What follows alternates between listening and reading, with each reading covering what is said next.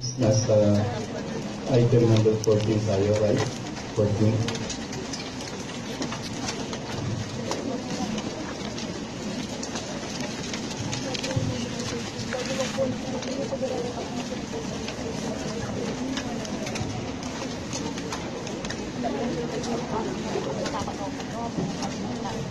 The question is, which of the following might be detected by an auditor's review of the client sales cut-off?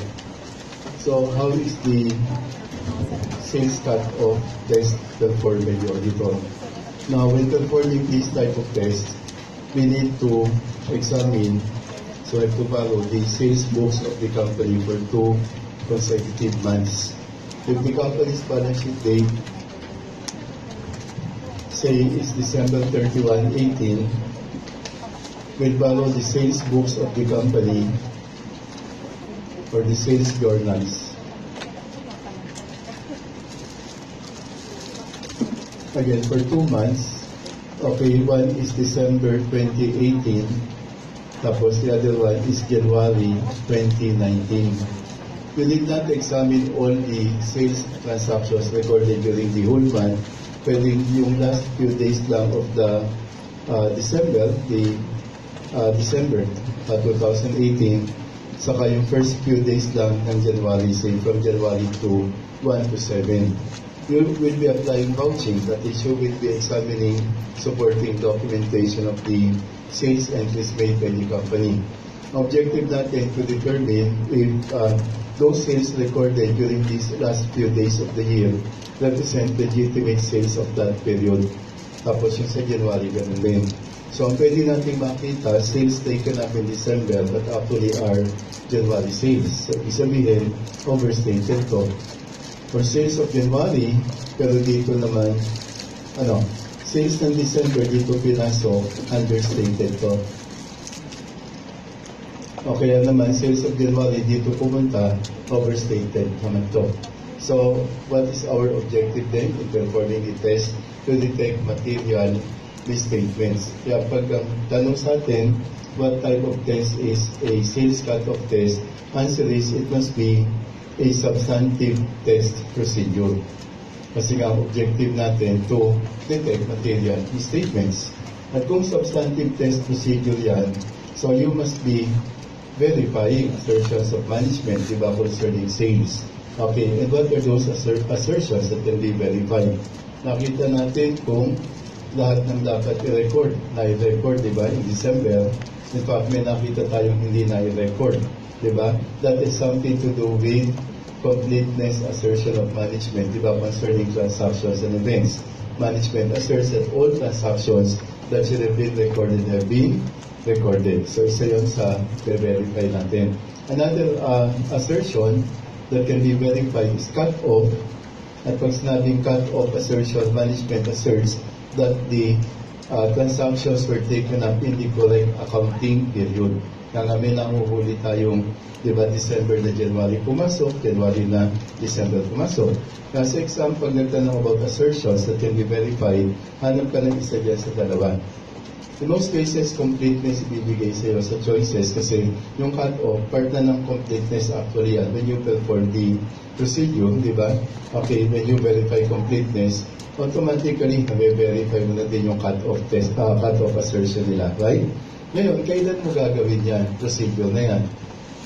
Can we perform this before the balance sheet date? Depende ba sa, uh, sa assessment natin ng risk of material misstatement dyan? Uh, kay kagaya ng ibang napag-uusapan na kapag mataas ang RMM, we should have set a low level of detection risk na dapat ano dapat uh, at year end mo gagawin. Meaning ang i-audit mo yung year end balance. O katumbas ba ng iba yan ng RMM mo mababa and you're willing to accept a high level of detection risk so you may perform the test at an interim date. The answer no. Okay, hindi siya kasama sa risk assessment natin for purposes of determining when to perform the test. Okay, this substantive test procedure, you should always perform after the balance sheet date. So, sulat ko lang, always perform after the balance sheet date. Kailangan lagpas muna yung taon para makuha mo yung January. Now, you will ask, di ba pwedeng hindi? Pwede namang gawin ko ng December yan. Parang i-audit ko yung November and December. Yes, you may do that. Pero wala kang ma-accomplish eh.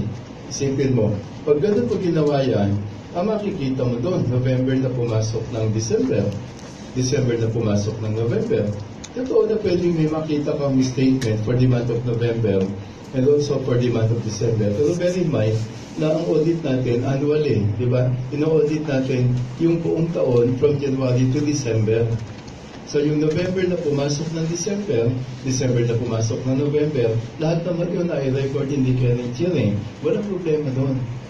Ang may problema dito, kasi pwedeng succeeding year sales na current year pumasok or current year sales na succeeding year pumasok.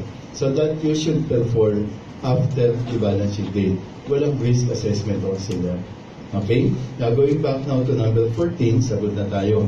Sabi sa A, so ulitin ko lang, which of the following might be detected by an auditor's review of the planned sales cut-off. According to A, we can detect excessive goods returned for credit and we don't agree with that. Diba? Nag-sales cut-off test tayo. Sales yan. Hindi naman return yan eh. Hindi nga natin alam kung alin dyan yung mga nagsoli at magsosoli pa, right? So, mali yung letter A. Eh kung itanong sa'yo, what will you examine so you can uh, detect excessive goods returned for credit? Then you should examine sales returns, di ba? Tignan mo kung gaano kalaki yung returns okay, during the period. Di ba? So, you will not the procedure, examine sales returns. What about boy, in the unrecorded sales discounts? Kailan ba may discount? Pag nagbayad yung customer within the discount period, di ba? Pag nagbayad, may nagbayad na, wala pa, bumili pa lang eh, di ba? So what will you examine? So you can detect unrecorded sales discounts. Then you should examine cash receipts. Di ba? Ilamin mo yung cash receipts book nila, kumuha ka ng sample, tignan mo kung yung mga nagbayad within the discount period eh, na record na ng discount. Kasi pag hindi na i-record o di unrecorded yun, kaya pakinote mo sa letter boy, uh, cash receipts. Intindi nyo na yun, examination of cash receipts, di ba? What about lapping in C? Can we detect lapping? And what is lapping in the first place? Well, lapping is a way okay, to conceal, di ba, the shortage, at the, the, what, the, the fraud committed, di ba, lapping. Okay, yung uh, fraud doon, yung pag nanakaw ng collection eh. We call it what? Embezzlement. Diba? So, para ma-cover up yun, may lapping. Okay? Now, kasi pag fraud, yun ang susunod nating topic mamaya, may intention to deceive eh. Diba? Fraud is panloloko eh. Diba? Wala namang nagplano, diba, na magnakaw dahil ang gusto niya, mahuli siya. Diba? Pag nanakaw ko, sana mahuli ako. Hindi ganun. Diba? Makulong sana ako. Okay, hindi ganun eh. Gusto niya i-enjoy yung ninakaw niya eh. Kaya may cover up. Diba? Kaya napakadelikado nga ng walang segregation eh. Kasi kung cashier na tapos uh, accountant pa, kaya-kaya niyang magnakaw, cashier siya eh. Kaya-kaya niyang i-cover up through lapping yung ginawa niyang embezzlement. O kaya naman, pinaghiwalay na lahat, nagka-connivance naman. Kaya nga ang connivance is an inherent limitation. So, paano nag-work ang lapping? Ganito lang yun. Halimbawa, nag-connive si X sa si Y. Si X kasi yung cashier, si Y yung accountant. So, nag-usap sila, oh, magnakaw tayo. Oh, sure, sabi ng isang kausap niya. Okay, gawin natin, total ikaw ang cashier, ikaw ang magnakaw. Diba, hawak mo yung cash eh. Pag may nagbayad at cash, okay, tapo ka agad sa labas. Text mo ko, magpagdihan tayo doon. Ganun kasimple. Okay, kung ito yung gate ng kumpanya, may guardia dyan, di ba? Okay, ito yung damuhan. Dito sila sa likod ng damuhan, magpapatihan. Ang usapan, 50-50. Ating kapatid. Eh, tiyempo-tiyempo naman, nagbayad pa si customer A. Medyo malaki, 100,000. O di, bulsa agad ni cashier yan, di ba? Punta agad sa labas, para mapaghatian nilang dalawa. So, di magkano silang dalawa, ito na sila eh. Tuwa, di ba? Easy money, ting 50,000. Di ba? Hatian, kasi 50-50, ating kapatid eh. So, tuwan-tuwa, hindi nga lang sila makapagsaya ng todo kasi kaya lang yung guarding. Kaya nagkakatawa na, siyempre, sobrang saya nila. Kaya impit na impit lang. Ganun lang. Yun yung lapping, di ba? Kaya ano, di ba? Hindi lang yan, simple paliwanag lang. Okay, it's nothing. Okay, so ito ito itong lapping. Okay, ito itong lapping. Ang lapping, hindi mo nagagawa ng entry yung accountant. Kasi alam mo, basic rule pag may fraud, they will make sure hindi i-debit ang cash eh. Pag-uusapan natin sa cash audit yan eh. Kasi pag nag-debit ka ng cash and you don't have the intention to report it, mahuli siya talaga eh.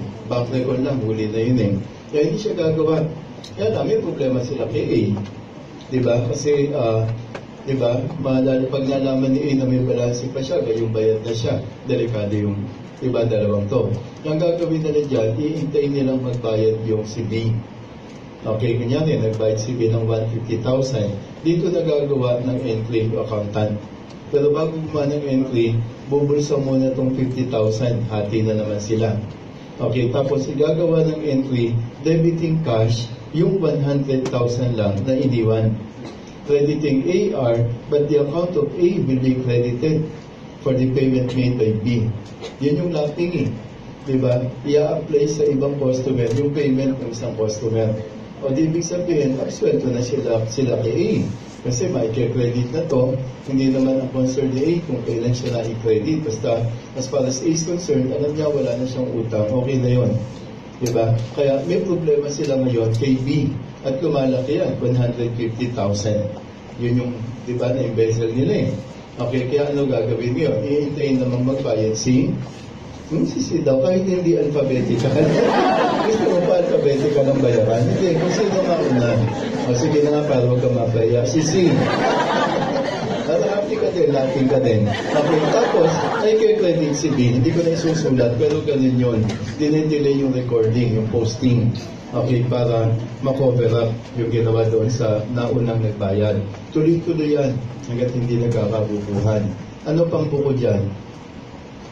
yung mabus, mabusising examination of collections, di ba? Para ma-relate doon sa sino ba nagbayad, kailan ba yung, di ba, pagbabayad. Or, isang simpleng paraan, confirmation.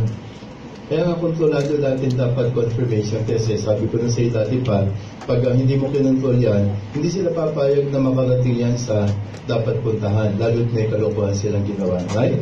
Kaya pag kinote mo sa letter C, confirmation. You know, normally pantapat. Yeah, the choice therefore is dog, syempre. Inflated sales for the year. Inflated is overstated. Pwede rin namang understated, di ba? But it's specified, inflated. Pero walang masama kahit understated ang makita mo, bibilugan pa rin natin ha. Kaya lang bakit hindi in general na lang, misstated sales? Bakit inflated? Kasi nga, yan ang mas pangkaraniwang ginugusto ng maraming kumpanya, di ba?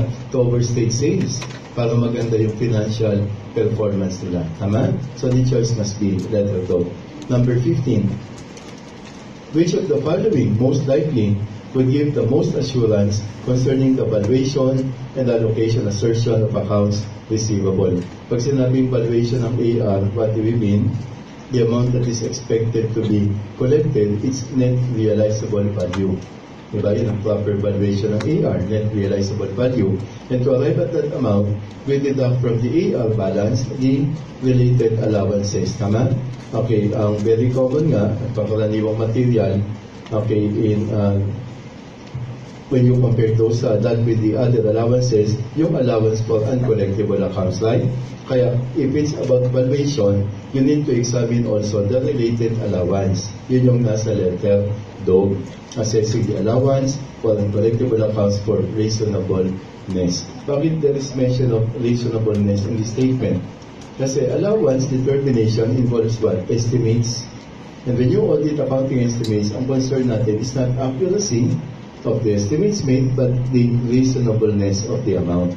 Napakinote mo sa tabi ng reasonableness accounting estimates. Para matandaan natin. So it's dog. Number 16. Verify lang yung confirmation sa unang statement. Huwag na natin basahin ngayon. Kau na lang. Yung kasunod, we read, two assertions for which confirmation of accounts receivable balances provides primary evidence of what? Sinulat natin sa whiteboard last time, di ba? Na kapag kinonfirm yung balance, dalawa agad yung assertions na na-verify natin. Una, that the receivables exist.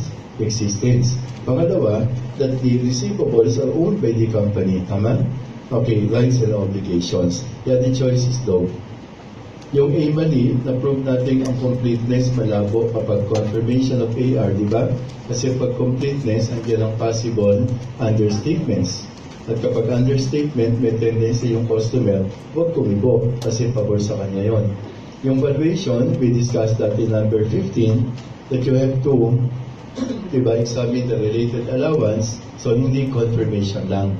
Now, for the uh, that reason, mali pa rin yung bond kasi may completeness, C is also incorrect kasi may valuation. Diba? The choice therefore is wrong. 17. When an auditor does not receive replies to positive requests for year-end AL confirmations, the auditor most likely would what? Binanggit bang first o second request na walang binanggit eh. Pag walang binanggit, default assumption, first request pa lang. Kaya pag hindi bumalik, yung pinag-usapan natin last time, you send the customer a second confirmation. The answer, C. 18.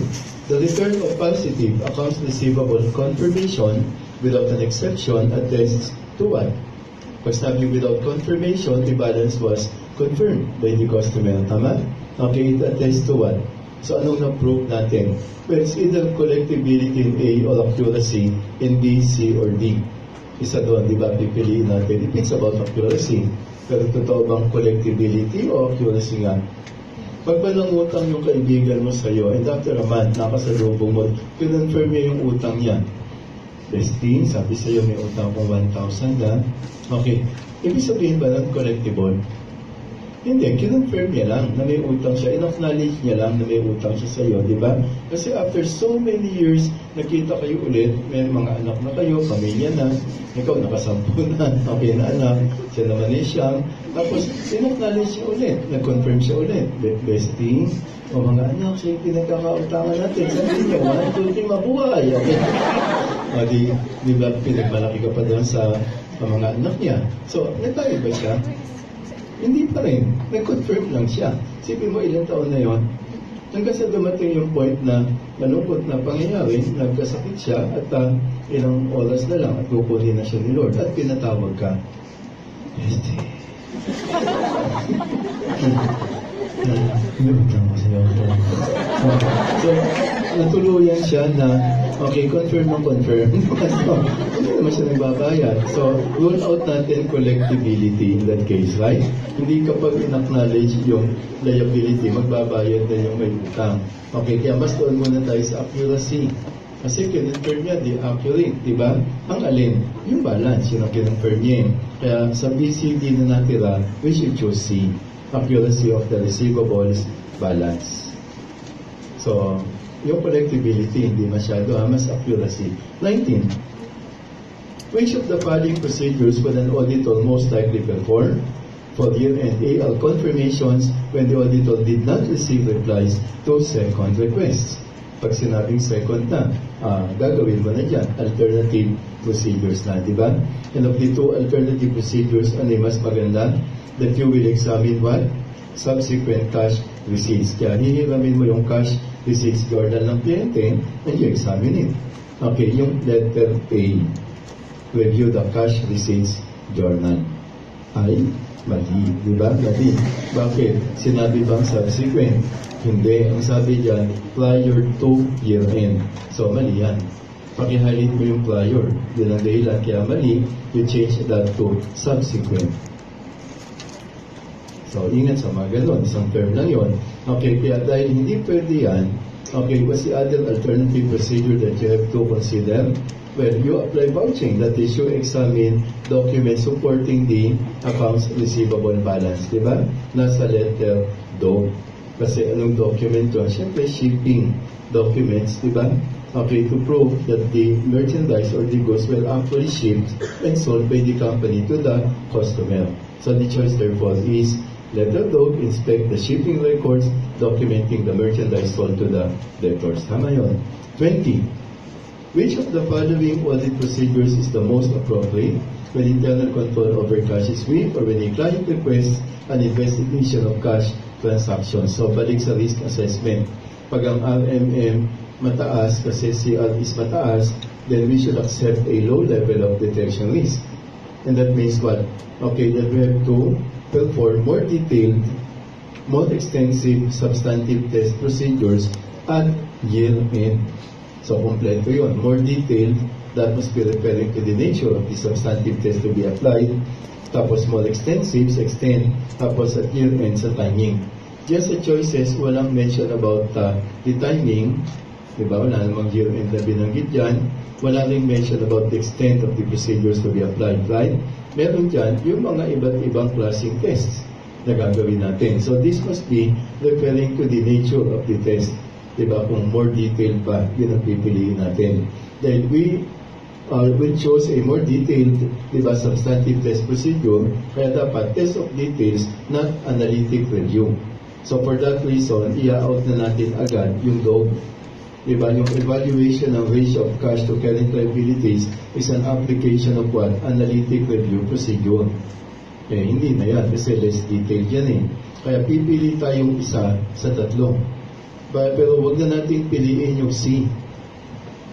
Pag nag-bank recon ka, may bank balance na i-reconcile sa book, tama?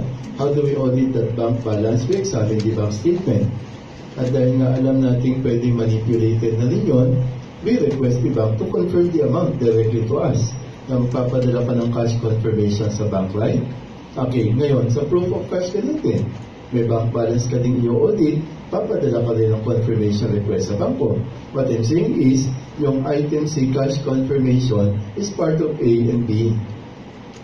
Diba? Pag ginawa mo yung A or B, ginawa mo na rin yung C, syempre. Yeah, don't tayo pipili sa A at B. Of course, you know the answer to this, di ba?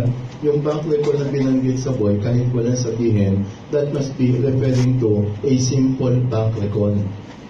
A simple bank record will reconcile balances as of one date only, di ba? At tawag din dyan eh, one date reconciliation. Kaya for that reason, lamang na yung A. Kasi sa proof of cash, we reconcile balances as of how many dates? Dalawa. May isa pa siyang lamang. We reconcile also the cash transactions during the period.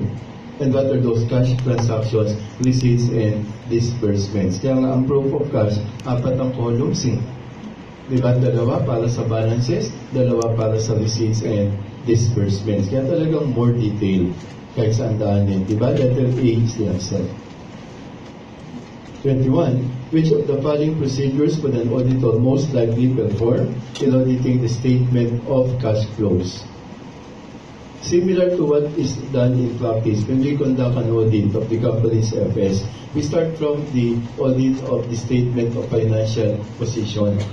Kasi when we do that, okay, uh, some of the income statement items can be simultaneously verified. Diba? Halimbawa, when you audit PPE, ano ba pwede mo nang isabay doon? Depreciation expense. And what about intangibles? Amortization, AR. You need to audit the allowance account in discussion kanina for the valuation. And when you do that, ano tatamaan? Budget expense. Tama ba? So marami pwede nang isabayin. Kaya pagkatapos mo ng statement of financial position, balik ka sa income statement, tapusin mo yung hindi mo pa na-take up, right? Saka ka lang pupunta sa statement of cash flows. Bakit siya sa dulo? Parang wala ka ng vouching, wala ka ng compare-compare, wala ka ng mga uh, procedures na ginawa mo doon sa unang dalawa. Kasi yung nasa statement of cash flows, nasaan? Nandun din sa yun eh.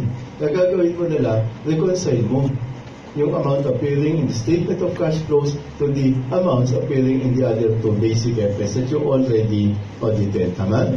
Okay, kaya hahanapin natin yon. Reconcile. Mali na yung A. Reconcile. Mali na yung C.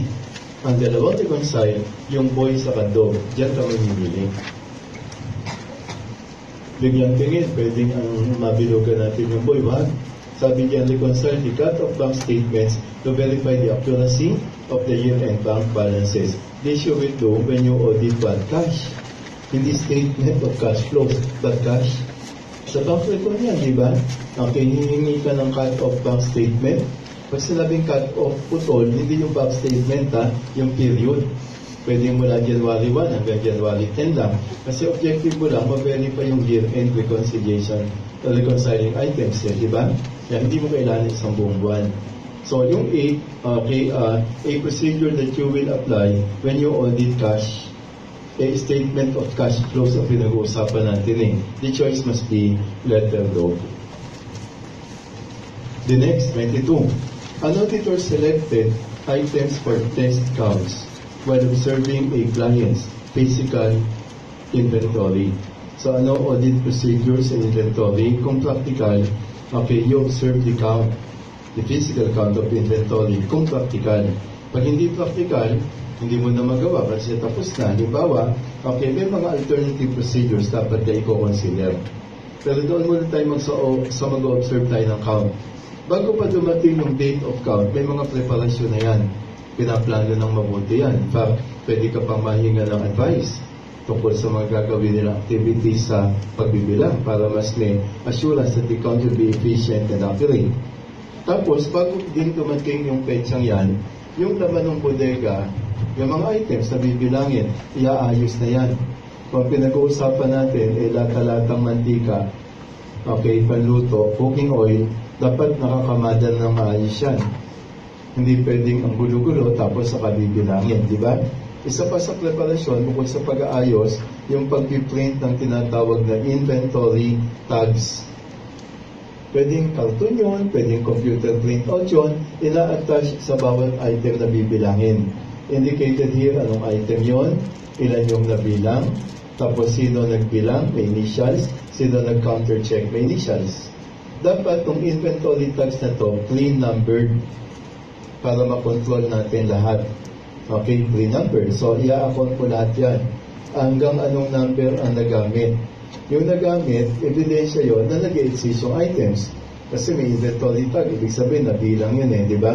And of the, uh, the tags printed, ilan naman yung na-cancel o na-void kasi mali yung entry, kinancel na lang, ilan yung unused So accounted for every copy of the inventory tag dahil nga baka baka tambakan ng tambakan yung inventory na hindi naman nag-exist talaga. Yeah, particular tayo doon sa mga nagamit na evidencing, di ba, the count was conducted. Okay, kasi igagawa ngayon to ng listahan. Tawag ay inventory list. Ililista yung mga item. Okay, kung ilan yung nabilang base sa inventory tag. Okay, kunyari, 100 at magkano yung kanyang unit cost, kunyari 10, para ma-extend dito, magkano yung cost ni item ay 1,000. Gagawin yan for all the items, tapos ibababa yung total, ito na yung ending inventory nila. Okay, kapag periodic, wala naman silang inventory account pa sa libro, di ba? Igagawa ng entry to set up the ending. Debit inventory ending, di ba? 100,000 and then credit income summary or some companies use cost of sales as a temporary account. Para yung beginning sa ka-purchase isasara din dito para makita nila magkano ang cost of sales for that period saka isasara sa income summary. So kumbaga i-station muna sa cost of sales 100,000 ang point. Pag mali ang bilang, mali ito. Pag mali ito, mali FS. Kaya nga handyan tayo para mag-audit. Diba? Basta pag nag-audit ka ng inventory, wag na wag mong kakalimutan, nag-audit ka ng asset. Huwag mo rin kakalimutan na management might have incentives to overstate this, right? Kaya ang concern natin, existence. Para makahanap tayo ng possible overstatement. Diba? Okay, kaya nandun ka to observe. Pag sinabing observe, nakatayo ka lang, hindi, dapat kumuha ka ng items na itetest mo. Pwede ka lang sumabay sa pagbibilang, but should not be 100% count kasi hindi naman ikaw part ng count team eh. Diba, nag-audit ka. So, you can select a sample. Kung masyadong marami. Pero kung kukunti, walang masama kung lahat. Diba? Pero kung marami naman, test, check ka na lang. Diba? Okay, so bilangin mo. Tapos para kontrolado mo yung mga inventory tags na na i-subject mo to your test count, edi initial mo sa ang corner dyan o kahit sa gitna pa para isa-summarize mo kasi yan sa dulo. Okay, pero bago natin puntahan yon. Okay, eh, dapat again bantayan ha, baka naisang ka ng kliyente, may tendency magsama yan, pero hindi naman nag-exist. Yung nakakamadang mga data dyan, ito. Kunyari, isinubject mo to your test count, tapos umabot ng 50 yung bilang mo. Dinoble check mo talagang 50, nag-initials ka sa inventory tag 50. Hindi ka na kontento, binilang mo pa ng pabaliktad. 50, 49, 48, 47, tama pa rin. So, pabante, pabaliktad, patras, okay, tama yung 15. Pero sa totoo, 40 lang pala. Paano nangyari yun? Walang laman yung 10. So, yung ibang kliyente, nagsisingit ng ganon, di ba? Paano mo i-verify yun? Well, you have to verify that hanggang sa abot lang ng pwede natin gawin, ha? Okay, hindi na pwedeng gawin, eh, wag na. Okay, so ano, paano gagawin natin? Lahat ito ng mantika. Okay, magdala ka ng ice pick, pag bubutasin mo, di ba? Oh, ha, nalaman ka, oh, ha, ito, oh, ha, oh, ha, ayun, oh, okay, ayun, oh, okay. Tapos bayaran mo lahat yan. Okay, syempre, syempre hindi mo gagawin yun. Magtatapos na yung mantika, didulasan lahat sila. Okay, so, what? Bubuhatin mo, okay, nakaayos na yan eh. Bubuksan mo, kung babayaran mo. Kasi baka umanta na yan eh, sealed na yan eh. Diba? So what will you do? Sumaysay niya yung Shiba. Tama yun, katukin mo. Yun ang pwede mong gawin. Diba? Katukin. Iba yung tunog ng may laman sa walang laman. Kasi lahat ako ito. Toy, toy, toy. Toy, ikaw wala. Toy, ikaw wala. Toy, ikaw. Ang daming walang laman. Pakicheck mo yung katabi mo kung meron. Meron yan. Siyempre meron yan. Okay, so yun na. Ito pa isa. Tignan mo kung itong sinusulat ko na to. Ano to? Ito yung items na binilang mo nung tinignan mo sa taas. Kasi nasa baba tayo magbilang eh, di ba? Okay, 50. Pero pag pala pag tinignan mo sa taas, okay, ito makikita mo. Okay, ito, walang gitna. Parang bumili ka ng ano, ng peanut brittle sa Baguio. Di ba? So, pag binuksan mo, di ba, excited ka na, masarap eh. Huh? Lisot yung daliri mo, di ba? Walang gitna, halo. So, may isang ka ng kliyente mo pag ganyan. Pag wala kang ginawa, so what will you do? Well, kung kailangan, akyatin mo. Now you will ask, paano ko aakyat? Sa bawat bodega, lalo't malalaki items, mga lata-latang ganyan, may forklift dyan. Kasi yun ang pang, di ba, pang usod sa mga items is, makisakay ka doon.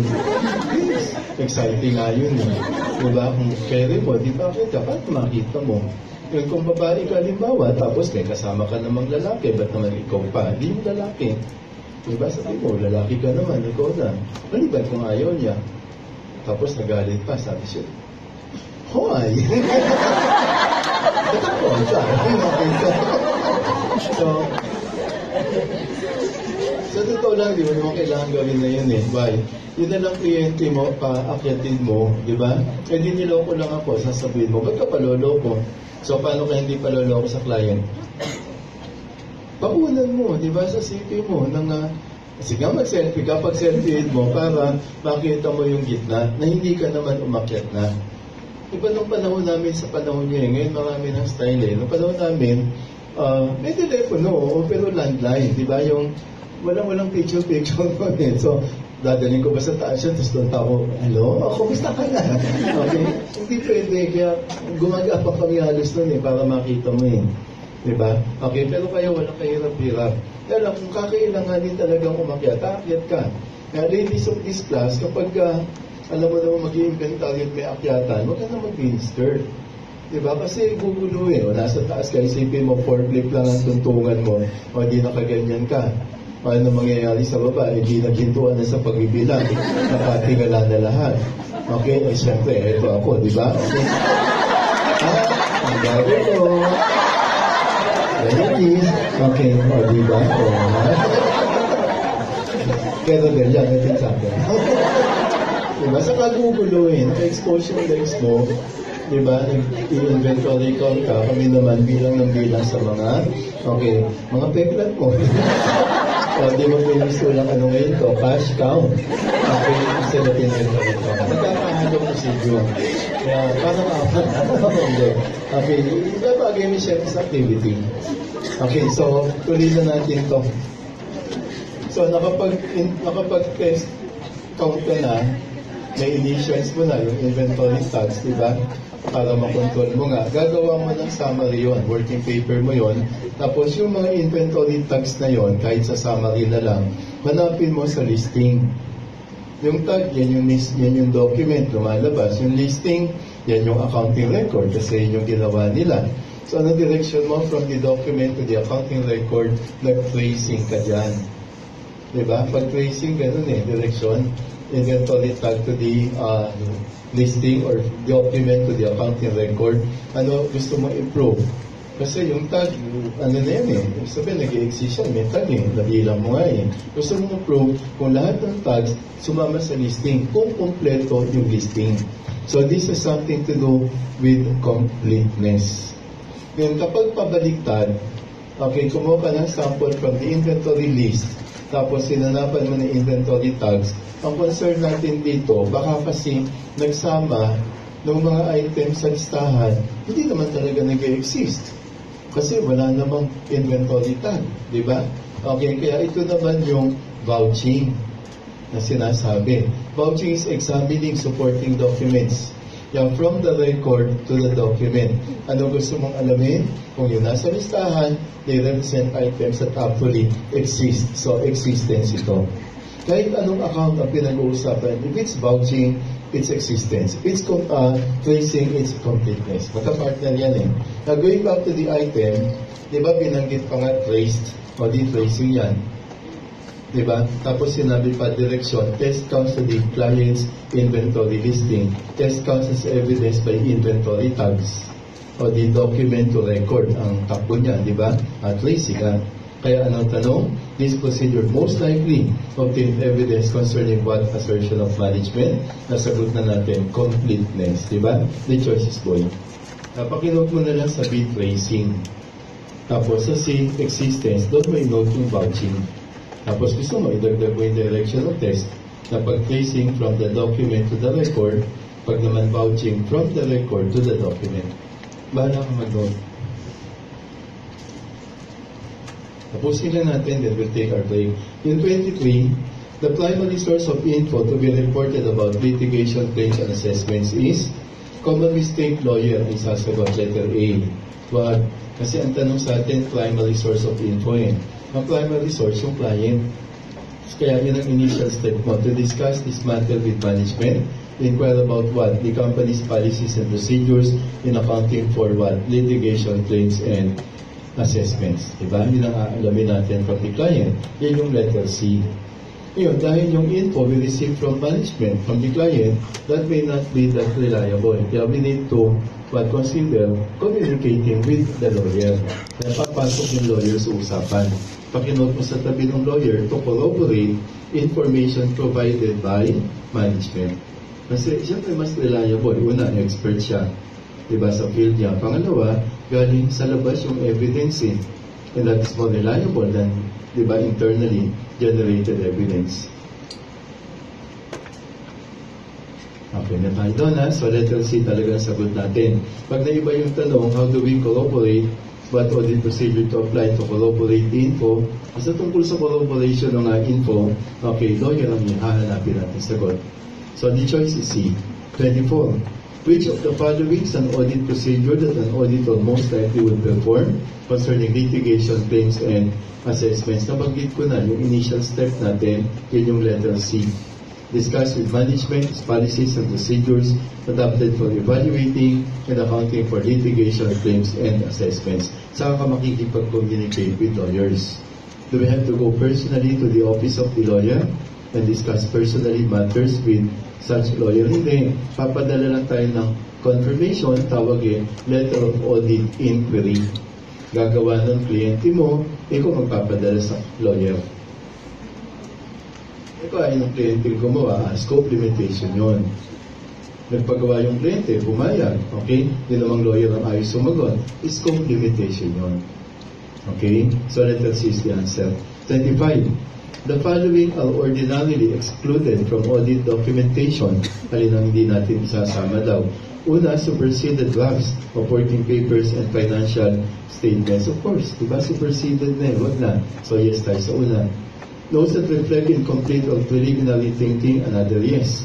Gugulo lang. Pagpatigan the document natin, previous copies of documents corrected for typo errors, okay, yes, huwag mo isama kasi may corrected na, yung corrected na lang. The last duplicates of documents, lalong yes, hindi natin dapat isama or dapat i-exclude natin. Why? We don't file din, gagalit kliyente mo. We don't file invoices, di ba? We will just indicate in the working papers that we examine those documents. Halimbawa, in-audit mo yung sales ng Amonte 100 by examining the invoice, kung magkano man to, pwedeng lagyan mo ng tick, ng tag ng tick mark, SI, tapos explain mo sa ilalim ng working paper mo, examine sales invoice, numbers, di ba? Tapos indicate mo yung numbers, 143 to 153, dated ganito. So, i-indicate mo na lang yung procedure. Hindi mo ipafile yung mismong document. Hihiramin mo yon so sorry mo sa kanila. Okay, maliban doon sa mga importanteng documentation, like, like uh, say for example, contracts, eh, may kopya tayo nun. Diba? Minutes of meetings, may kopya tayo nun.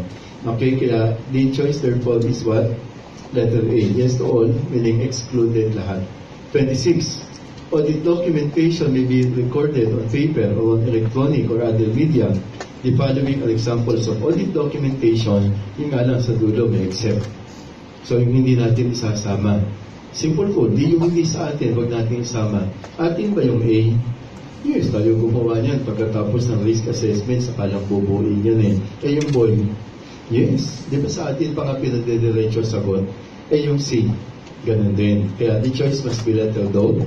Obviously, di ba, accounting records of the company yan, kanila yan, hinihiram lang. So letter down. 27.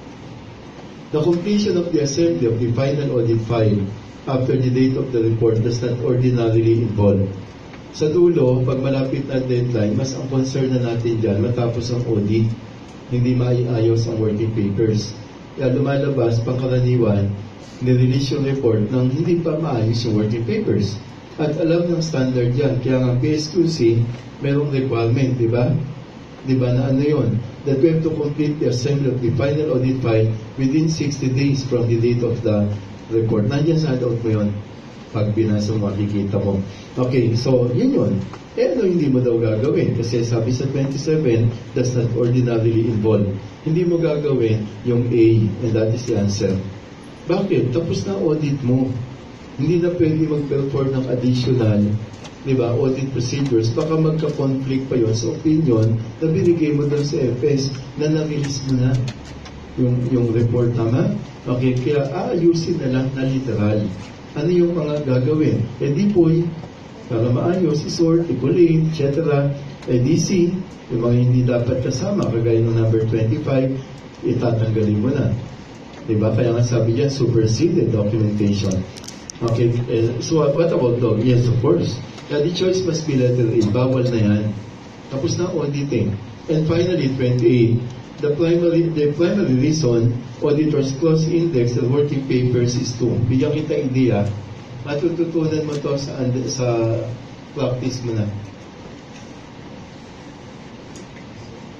Sa documentation natin, meron tayong tinatawag na working trial balance, di ba?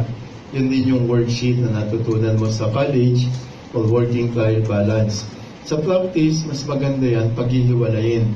Merong para sa balance sheet or statement of financial position, kaya WBS, merong para sa income statement, working profit or loss of income statement. Ano ka present, halimbawa, sa WBS, hindi na yung individual accounts.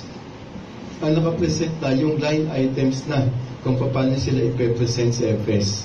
So for the current assets, ang makikita mo dito, hindi individual cash accounts, di ba? But cash and cash equivalents, a line item. Meron kang column for the working paper reference. Meron kang column for the per book balance, kunyari 1 million.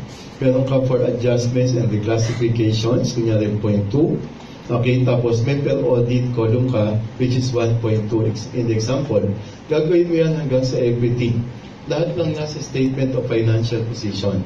So, isang working paper yan. They should have an index, kumbaga page number. Pwedeng gamitin mo WBS as the index of this working paper. Okay? So, eh nasaan tong mga to? Eh, di ba maraming accounts yan sa GL? Yes. So what is that working paper that you have to prepare to show the components of this line item and other line items in this uh, working balance sheet? Tawag doon lead schedule. So igawa mo ng lead schedule or top schedule para makita dito yung components ng bawat item. So dito mo makikita yung petty cash fund, yung cash in bank nila sa Metrobank, cash in bank account nila sa BPI, pati yung iba pang mga cash and cash equivalents. Okay? Ano column headings? Pareho lang. May working paper reference ka, per books, okay, adjustments and reclassifications, tapos per audit balances. Yung per audit, yan yung pupunta mismo sa FS. Diba? Okay, so nandito na yung individual account balances na nasa GL, adjustments that you made, tapos per audit of each of the accounts. Na pag tinotal mo, okay, pag tinotal mo, okay, kunyari, ito yung 1 million, ito yung 0.2, ito yung 1.2 million, ito yung dinala mo doon. Meron din siyang sariling index, syempre, working paper din ito eh. Pwede ka mag-assign ng alphabetic characters, say A. Okay, and again, ito yung dinala mo doon, di ba? So ilalagay mo sa ilalim to WBS para alam ng babasa kung saan mo dinala to, saan mo nilipat, di ba? Or saan mo makikita. Tapos sa pinuntahan, lagay mo kung saan siya galing. Yan ang tawag na close indexing. Ibang term is close referencing. Eh, nasaan yung uh, working paper mo for petty cash audit mo? Okay, tawag doon supporting schedules. Gagawa ka ng supporting schedule. So, halimbawa, sa petty cash, may cash count sheet ka. So, this is another working paper, di ba? May index din siya. Para hindi magulo, mamatitrain kayo dyan, don't you worry. Di ba ito, this one, anak nito? Di ba? Ayun siya. Okay, cash fund. So, pwede mong i-assign dito alphanumeric A-1. Tapos, yung amount na dinala mo sa A, okay, si index mo, lagay mo to A. Pagdating kay A, lagay mo dito A-1. Ganun lang. Okay, kunyari may attachment dito. Okay, para intact sila, di ba, A-1 over 1. Lahat ng attachments mo naman, over 2, over 3. Puro A-1 sila. Sa pag-assign ng index, tawag indexing. Sa pag, uh, di ba, pag-indicate kung saan pumunta saan galing, that's cross-indexing. Okay, ano advantage? Kahit saan buksan yung documentation mo, may frame. Hindi mawawala yung magre-review sa iyo, di ba? Pakihanap mo yung sagot na makapag-type na tayo. Yung frame, di ba nasa dog? Provide a frame for the auditor and the reviewer. Pero yung pang pangalan na working client balance yun, lead schedule to, supporting schedules. Okay, so we take a short break, tapos uh,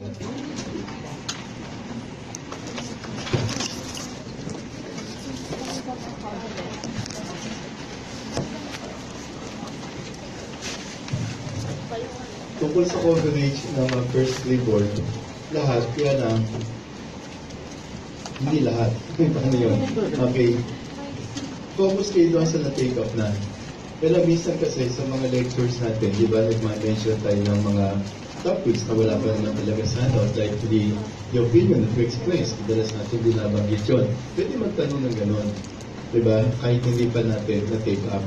Pero rest assured na yung mga questions that pertain to those things or topics that we have not yet discussed, okay, will be very, very easy questions para sa inyo. Para okay, okay, para talagang uh, maging patas na. Yung code of ethics, medyo mahaba yun eh. Huwag yun na munang aralin. Okay, kasi, di ba, kung magtatanong man, yung nabanggit lang sa klase, mga ethical principles, nasa isang handout natin yun eh. Pero yung, okay, malalim pa doon, hindi na, huwag na rin yung accountancy act. Maliban syempre doon sa mga binabanggit na, like the scope of practice, di ba, nababanggit naman yun. Basta mga ganun, okay, ang focus doon sa mga nauna nating topics at madidiscuss pa before the first pre-board examination. Okay, so for uh, the second half, okay, punta natin 8407. Tingin ko, practical kung dediretso na tayo sa multiple choice questions sa material na to para yung discussion natin ng concept through the multiple choice questions na. Mag-aaral na natin. This is about fraud and error. Dapat matutunan kayo, matuto kayo ng fraud. Para pag kunyari, nagtitip ka, di ba? I-apply mo. Okay. Pag nagtatrabaho ka na. Tapos, pag nahuli ka, dadalawin na lang kita. Okay. Then, what must be the distinction between fraud and error? Siyempre, nandun sa intention, di ba? Okay, pag may intention to deceive, that must be fraud. Pag wala namang intention, an honest mistake, that must be an error. Okay, ang concern natin, for purposes of uh, determining what opinion to render, hindi yung fraud mismo, o hindi yung error mismo, yung result. Di ba? Kung may material misstatement in the FS resulting from the fraud or error committed. Kasi kung wala, kahit fraud or error yun, unmodified bibigay natin. O, ganyan, binigay ko unmodified opinion. Dahil wala namang material effect, dahil wala namang material misstatement. Hindi tayo nag-modify ng opinion dahil may fraud tayong na-detect. Remember that? Okay, nag-modify tayo kasi may material misstatement tayong nakita or material misstatement na hindi natin na-detect because of lack of evidence. Diba? So, yun ang issue doon. Ngayon, baka itanong sa iyo, may matanong like, which of the following are examples of fraud? Or which of the following are examples of, uh, or the following, which of the following is an example of fraud pala, isa lang. Or which of the following is an example of error? Okay, kaya you should know the distinction nga, yung intention. Okay, ang importante doon, yung alam mo kung yung binabasa mo may intention kahit wala pa yung term na intention sa statement. Halimbawa, embezzlement of receipts. Ano yun? Fraud or error? Fraud na yun kasi may intention eh, embezzlement, pagnanakaw na yan eh. Hindi na kailangan sabihin pa, intentional embezzlement. Hindi ganun yun. Diba? O kaya naman, stealing the company's assets or intellectual property. Fraud na yun, nagnakaw eh. Hindi na kailangan sabihin pang intentional stealing. Di ba? Okay, kaya medyo pakikiramdaman nyo yung mga choices, di ba? Basta importante yung nasa isip natin, pag may fraud na, pag may intention na, fraud na yun. Yun, pag tinanong ka naman, which is more difficult uh, difficult to detect, is it misstatement arising from fraud or misstatement arising from error? Well, it must be arising from fraud kasi nga, in fraud, there is that intention. Binanggit ko na kanina, walang nagnakaw para mahuli. Nagnakaw siya para i-enjoy niya yung ninakaw niya, di ba? So there must be a way to conceal it. Di ba? Dahil may concealment sa fraud, mas mahirap i-detect. May concealment eh, than error. Ang error, honest mistake yan eh. Nung i-post yung entry, parang na-debit. Di ba? So error lang yun. Alam na bang pakinabangin niya yung nangyari yun, di ba? So ano magbubuking doon? Ano magdi-detect doon? Yung client balance. Hindi ba balance eh? As simple as that. Di ba? Kaya mas madali. So punta tayo sa wana. Which of the following best defines fraud in a financial statement auditing context? Yun nga, pag fraud is that intention, and you look for that statement, yun yung letter boy. Kasi yung fraud, eh, fraud daw unintentional, hindi. Fraud is intentional. Okay, tayo doon. Pwede na yan. Number two, fraud involving one or more members of management or those charged with governance is referred to as what? There are two types of fraud kung pag-uusapan yung nag-perpetrate yung gumawa. May tinatawag tayo management fraud and we have what we call employee fraud. And that's self-explanatory. Siyempre, pag management ang involved, management fraud yun. Employee, employee fraud yun. E binanggit sa statement, management eh. So the choice therefore is letter A, management fraud. Paano kung may connivance with third parties, yung management? Ano natawag? Management fraud pa rin kasi sila pa rin yung primarily responsible for the act that was committed. Okay? So letter A. Ganun din sa employee fraud. With or without connivance with the third parties, employee fraud pa rin matawagin. Yun namang C at D are the other two types, uh, the other types of fraud. Okay, fraudulent financial and misappropriation of assets. And you should also know the distinction. Nasa number three. Fraudulent financial reporting involves intentional misstatements, including omissions of amounts or disclosures in FS to deceive financial statement users. Tama yan. Yan yung tinatawag na fraudulent financial reporting. Diba? An example of that is what we call window dressing. You know, overstate ang assets, kaya ngayon ang binabantayan natin mabuti, understated ang liabilities, overstated ang revenue, understated ang expenses to show a favorable financial position and performance. na hindi naman totoo, di ba? Okay, tawag yung fraudulent financial reporting. Kaya dyan sa choices, pag may kinalaman sa records o sa FS na deliberately misstated, that must be fraudulent financial. Yun yung letter dog. Again, an example of fraudulent, yung window dressing, ha? tawag doon, window dressing. Pinapapogi o pinapaganda yung FS kahit hindi totoo. Yan ang wag na wag yung gagawin, ha? Galit mga kababaihan, window dressing. Bakit? Matutuwa kapitbahay. No? Diba? So, letter dog sagot. Number four, Which of the following conditions are generally present when misstatements due to fraud occur? Pag daw may fraud, generally, alin dito ang present? One, incentive or pressure. Di ba nakakapakinig tayo ng mga balita? Okay, bakit ninakawan ng kasambahay yung amo niya? Kasi hindi maganda ang relasyon nila eh. Ibig sabihin, hindi maganda ang relasyon, tabi break lang nila. Hindi. Okay, hindi maganda trato sa kanya. Di ba yung ganung balita? Minamaltrato po ako, kaya nabili ng isip ko. Ninako ko po yung, di ba, yung kids ng amo ko. Di ba? Okay, so kung ano man yung ninako, pera, lahas, di ba? Kasi nagka-incentive siya. Sa isang kumpanya, ganun din eh. Yung sinasabing incentive?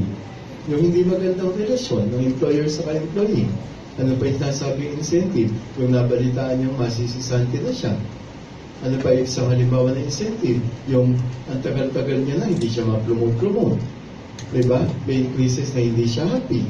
Diba? So, incentive kung tawagin. Ano naman yung pressure? Yung kasambahay, kaya nagnakaw kasi nakatanggap ng, diba, ng text na kailangan natin ng ganito kalaking halaga kay Bunso. Ganun, ganun istorya, di ba? Kailangan natin kooperahan. Nag-pressure siya ngayon. Di niya alam kung saan pupunta eh. Nagnakaw. Siyempre mali yun, di ba? Okay, sa kumpanya ganun din. Di ba? Pwede may financial difficulty employee, na-pressure, nagnakaw. Sa part naman ng management, hinahanapan ng napakataas na standard ng performance, hindi maibigay, o di nag-window dress. Di ba? Fraudulent financial, incentive or pressure kung tawagin. Ngayon, check tayo sa one. Pag ba may fraud, present din yung two. Yes, hindi naman puro incentive lang eh. Kahit sama-sama ang loob niya, nakaw na nakaw na siya, eh hindi naman niya magawa kasi ang pinag-iintisan niya nakawin yung heavy equipment ng kumpanya. Hindi na madadali yun, di ba? Okay, so wala siyang opportunity gawin yun. Tapos, ang higpit pa ng control, di ba? Bago mo ilabas yun, paano? Okay, kaya ano yung opportunity? Una, tinutukoy dyan yung characteristics ng asset na pwede mong manakawin. Diba, pwedeng manakaw na magnanakaw eh. Gaya ng ano, yung maliliit na items.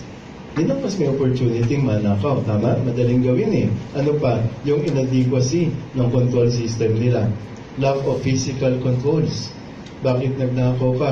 Mabait naman ang amo mo. Eh, kakalat-kalat lang mo yung pera eh. Natukso ko. Diba? Lack of physical controls. Dapat yun nakatago para wala siyang opportunity manakaw yun. Tama? Kaya check din tayo sa 2. Eh yung pangatlo, rationalization, check pa rin. Kasi yan yung pag-justify ng ginawa nila. eh.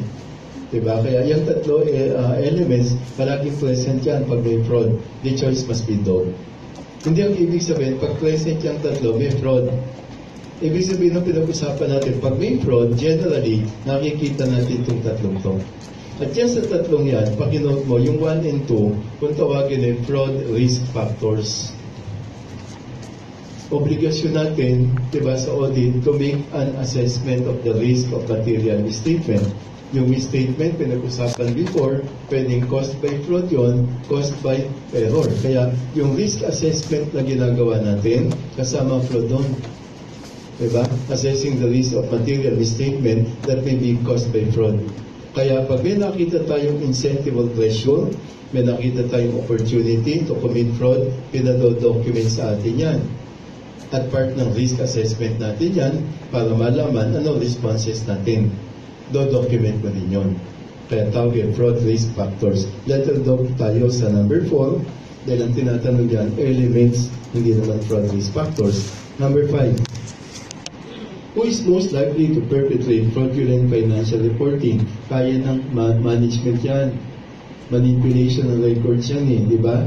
Kaya nilang i-ignore yung system para lang magawa yung gusto nilang gawin. Empleyado malabo kasi, di ba, kung hindi naman uh, corrupt yung management na hindi sila pwede.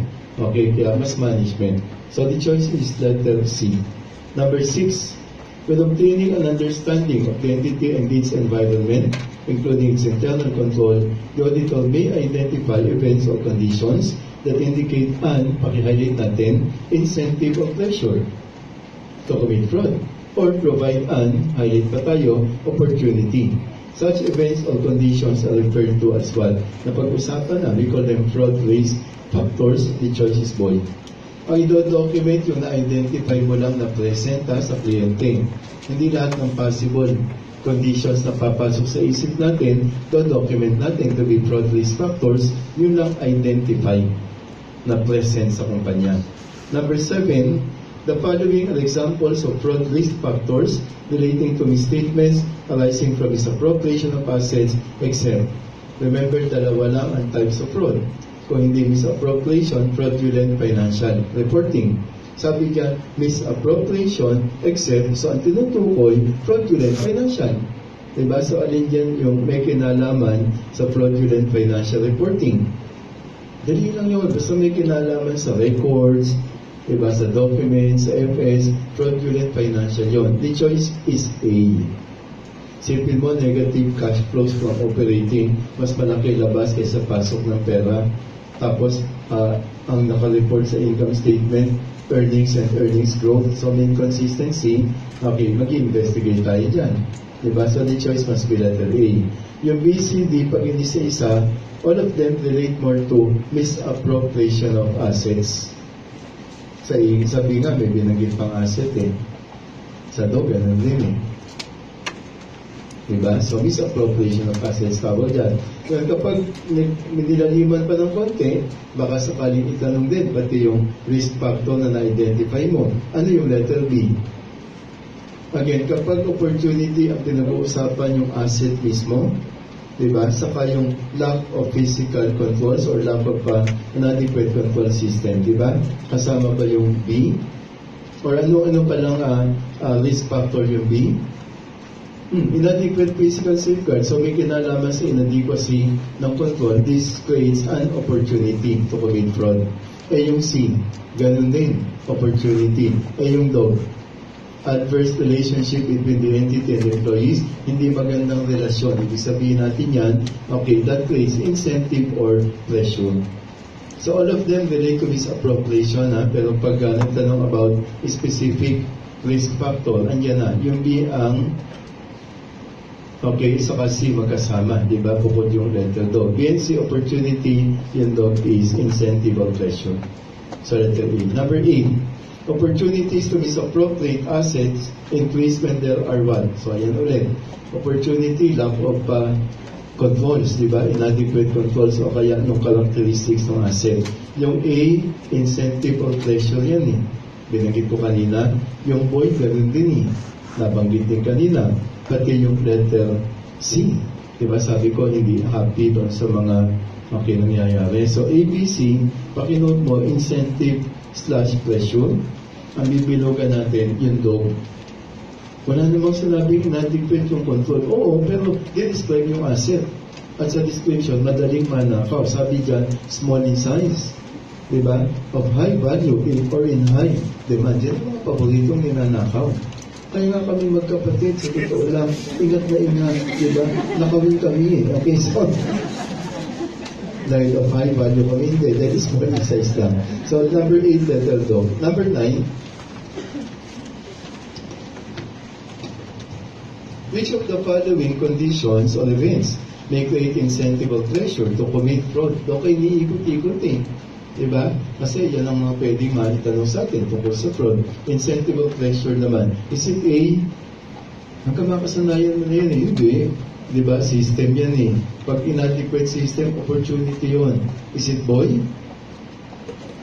Lack of mandatory vacations for employees performing key control functions. Saan, saan siya dapat sumama? Incentive or pressure or opportunity? Kasi kapag incentive or pressure, bilugan na natin. Ano ba yung mandatory vacation? Pagkaraniwan yan, one week vacation leave. Diba? Manda leave yun kung tawagin nila. Okay, na kung saan makakapagpahinga ka. Okay, kaya iba nilulook forward yan. Yung may guma- ginagawang kalokohan, kinatatakutan yan. Kasi during that uh, period, may ibang gagawa ng ginagawa niya. Di ba? Doon maraming pwedeng makita. Kasi wala siya doon eh. So mabubungka lahat ng pwedeng bungkalin eh. Tama? Na property naman ng kumpanya kaya pwede. Di ba? So yung lack of mandatory, okay, hindi incentive or pleasure yan. Mas andatin yan, opportunity. Kasi walang mandatory vacation eh. Okay, iba kasi mali ang interpretasyon. Akala nila, nagtampo yung empleyado, kaya incentive or pleasure. Hindi. Akala nila, halimbawa, isang empleyada, alam niya pag March, okay, meron siyang leave na one week. Kaya pagtuntong ng March 1, talagang pagpasok niya, kasi gusto niya naka-beach eh, nakababad sa beach. Na pag ah, pasok niya ng March 1, talagang naka-bathing suit na siya. Okay, eh, hindi tuloy. Nagtampo daw, ninakaw ang alin, yung kurtina, wala siyang damit eh. Okay, so, hindi ganun yun. Basta control po siya tignan. Walang manda ah, vacation, okay, kaya walang titingin sa trabaho niya. Okay, kaya letter boy opportunity pa rin. Yung C ang pleasure, binanggit pa nga eh, excessive pleasure, bilugan mo na.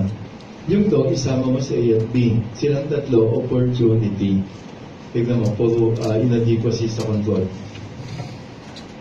Number 10, which of the following statements is correct about an auditor's responsibility regarding consideration of fraud in a financial statement audit?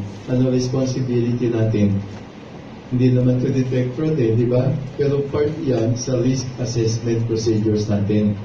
Di ba? Remember na yung risk assessment, okay, uh, procedures, how procedures we apply so we can what? Make an assessment of the risk of material misstatement that may be caused by fraud or error. So kasama yung fraud eh. Diba? So pag tinanong ano obligasyon natin, hanapin mo yun ang sagot. Yung letter daw.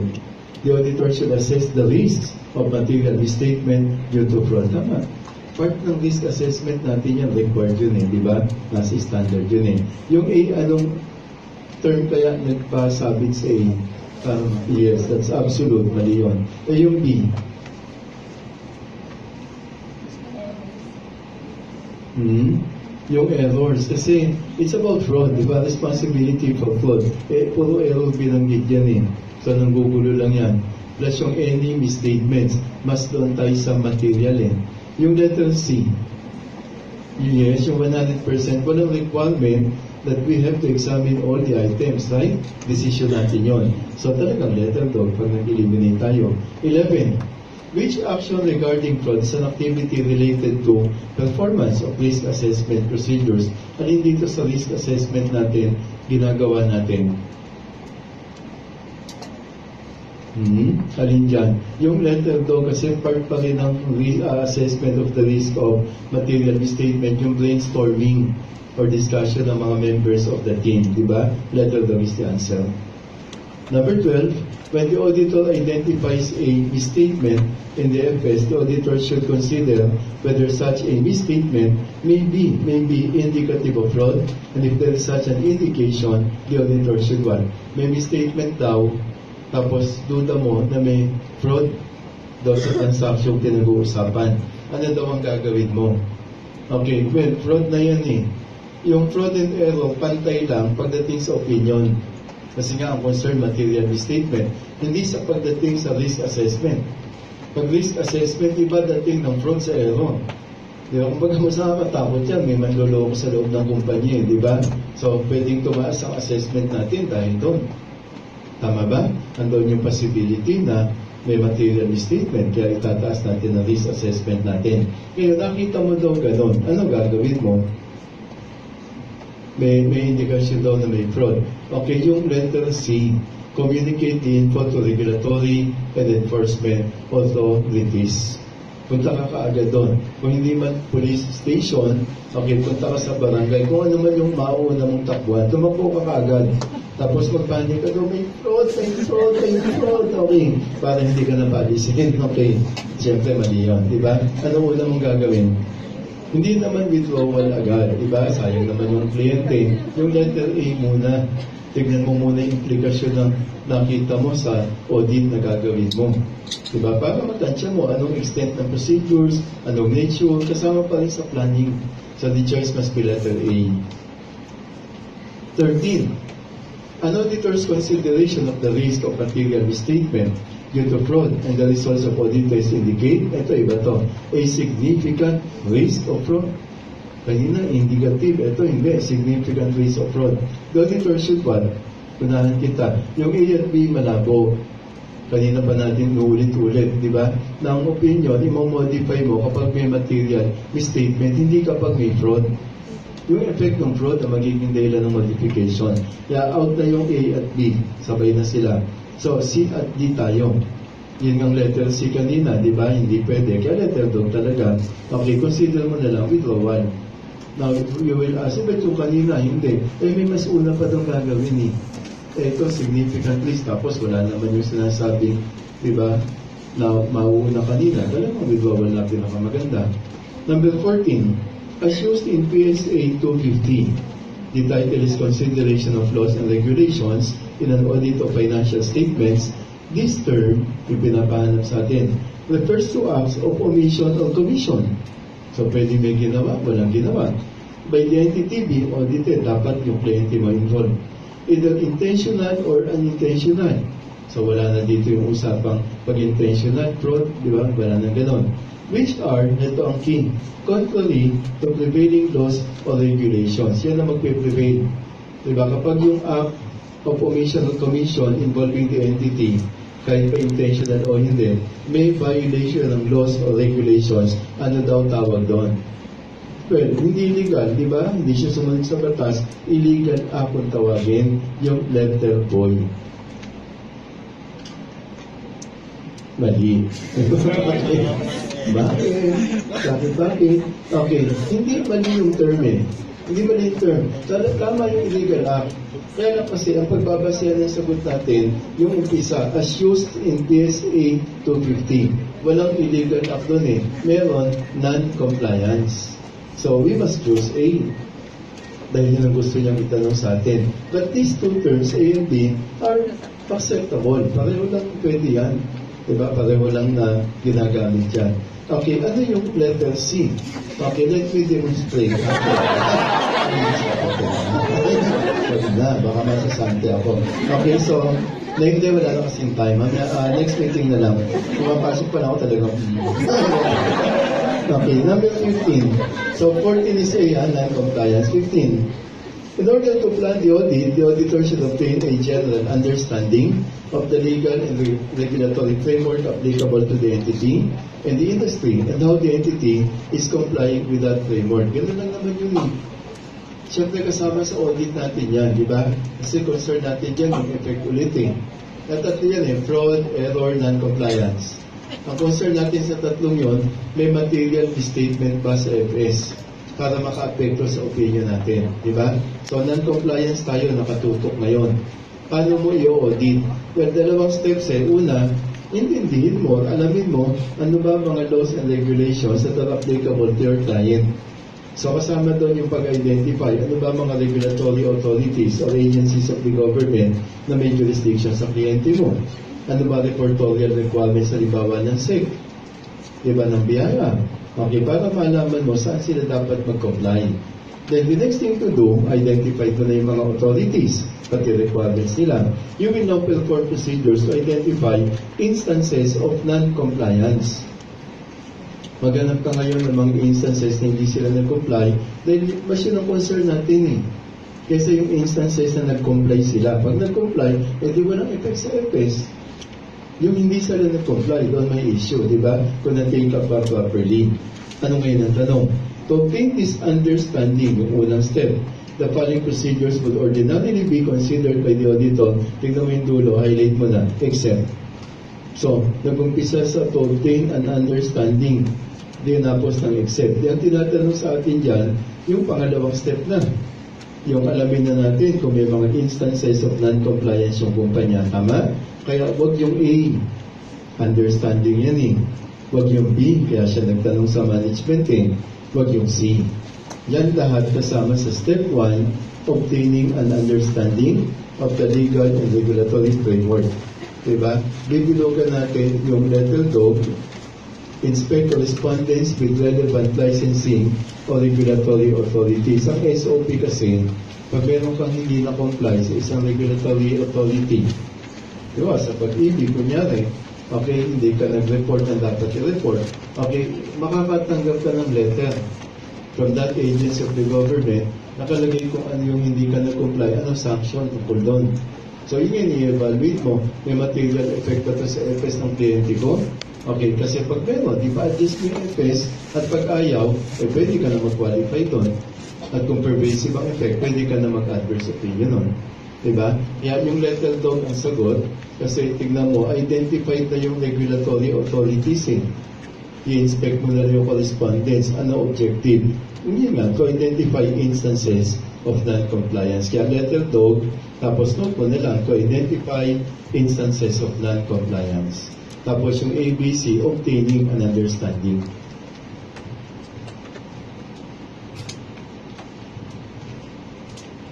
16 tayo. If the auditor concludes that the non-compliance has a material effect on the FS and is not being properly reflected in the FS, the auditor should express what? May material effect tapos not properly reflected. Eh di may material statement na pag hindi pervasive qualified. Pero pag pervasive na, adverse. The choice is A. 17. If the auditor is precluded by the entity from obtaining sufficient appropriate evidence to evaluate whether non-compliance that may be material to the FS is is likely to have occurred, the auditor should express what? So we're talking of what? Scope limitation imposed by the client, tawag client-imposed limitation. Kapag hindi kliyente mo nag-impose, circumstance imposed kung tawagin. At ang issue dito, wala sa scope limitation.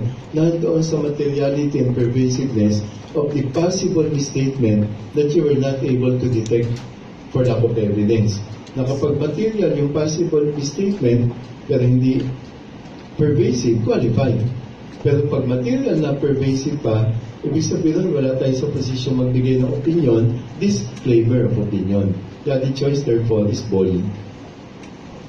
We choose between qualified or disclaimer. 18. Under PSA 216, the term is used to describe the role of persons entrusted with the supervision, control, and direction of the entity. Governance. Yan ako sabihin eh, those charged with governance. Yan ang responsibilities nila. Sa isang maliit na kumpanya, yung may-ari na. Ah, may ganyang responsibility, di ba? Sa isang korporasyon, yung board of directors nila. Okay, kaya we chose letter boy. 19. According to PSA 216, those matters that arise from the audit of financial statements and in the opinion of the auditor are, pwede mong i-highlight, both important and relevant to those charged with governance at part. In overseeing the financial reporting and disclosure process called what? We call them matters of governance interest. Kaya natin highlight yung important and relevant. Di ba kasi they are matters of governance interest, letter A. Hinahanap sa audit yan? Hindi.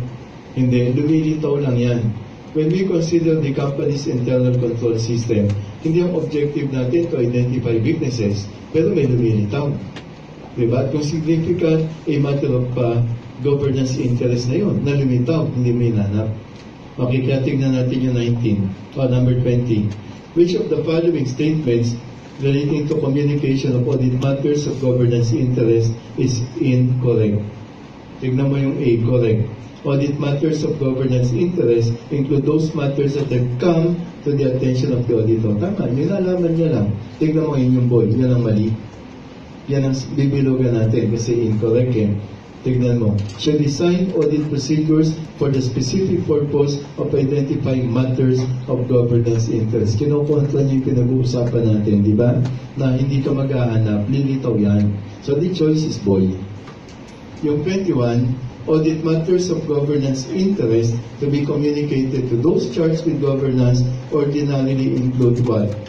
So, alin dito examples of matters of governance interest? Silang tatlo. Kaya namin sinama para additional, di ba, examples na papasok sa isip nyo. The choice is dog. Huwag naman sana yung dog pa i-memorize mo, di ba? Very good point, di ba? Full of your Okay, 22. Ikaw na, nabanggit ko na sa iyo kanina yan. na pag corporation, those charged with governance, nagre-refer saan? The company's board of directors. Diba? The choice is letter C. Okay for today.